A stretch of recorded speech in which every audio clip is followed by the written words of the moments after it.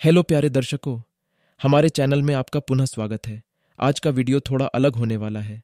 हमने अपने अगले गंतव्य के लिए ट्रेन लेने की योजना बनाई थी, लेकिन चीज़ें योजना के मुताबिक नहीं हुई। हमारी ट्रेन छूट गई और हमें अगली ट्रेन का इंतज़ार करना पड़ा। लेकिन परेशान होने के बजाय हमने अपने समय का सदुपयोग करने और अलवर के खूबसूरत शहर को देखने का फैसला किया। जब हम शहर में घूम रहे थे, हमारी नज़र शानदार अलवर महलों पर पड़ी। महलों की वास्तुकला और जटिल विवरण ने हमें आश्चर्यचकित कर दिया। हम उस स्थान की सुंदरता को कैद करने और अपने चैनल के लिए कुछ गुणवत्तापूर्ण सामग्री बनाने के अवसर का विरोध नहीं कर सके। हमने महलों की खोज शुरू की और हर कोने में कुछ न कुछ अनोखा था। खूबसूरत बगीचे, आश्चर्यजनक आँगन और दीवारों पर जटिल नक्काशी बस लुभावनी थी। हम उस स्थान के समृद्ध इतिहास और संस्कृति से आश्चर्यचकित थे। हमने महलों की खोज में घंटों बिताए और हर पल को अपने कैमरों में कैद किया। प्राकृतिक रोशनी और खूबसूरत परिवेश ने इसे हमारी शूटिंग के लिए आदर्श स्थान बना दिया। हम कुछ अद्भुत सामग्री बनाने में सक्षम थे, जिसे हम आप सभी के साथ साझा करने के लिए उत्साहित हैं। उसी महारानी की छतरी के नाम से फ़ेमस है।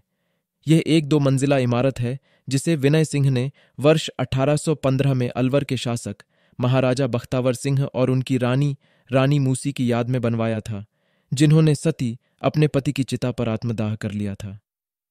मूसी महारानी छतरी रानी मूसी की याद में बनाई गई एक कब्र है, जो अपने पति बख्तावर सिंह की मृत्यु के बाद उनकी चिता पर सती हो गई थी।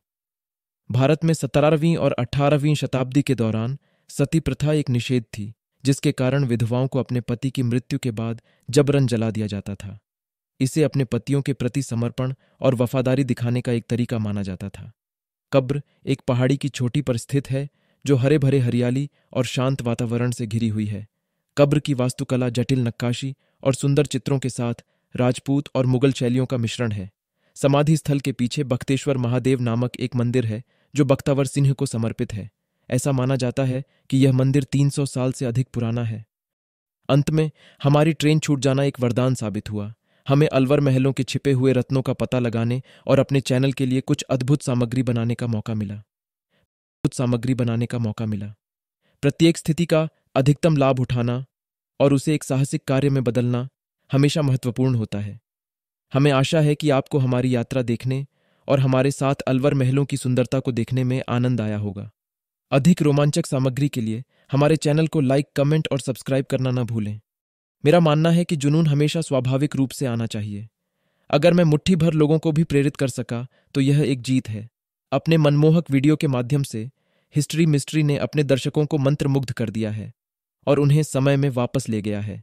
इसीलिए जैसे जैसे वह खोई हुई कहानियों की खोज जारी रखता है, वह आपको इतिहास के माध्यम से अपनी असाधारण यात्रा में शामिल होने के लिए आमंत्रित करता है। आइए, मिलकर भूले हुए किलों को देखें, समझें और उनकी समृद्ध विरासत को अपनाएँ।